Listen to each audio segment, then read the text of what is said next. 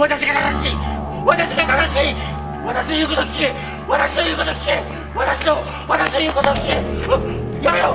やめろ。なんで抵抗するの？そこまでして何がしたいの？赤ちゃんがいるの。だから何？そんなくだらないことで全体に迷惑かけないでよ。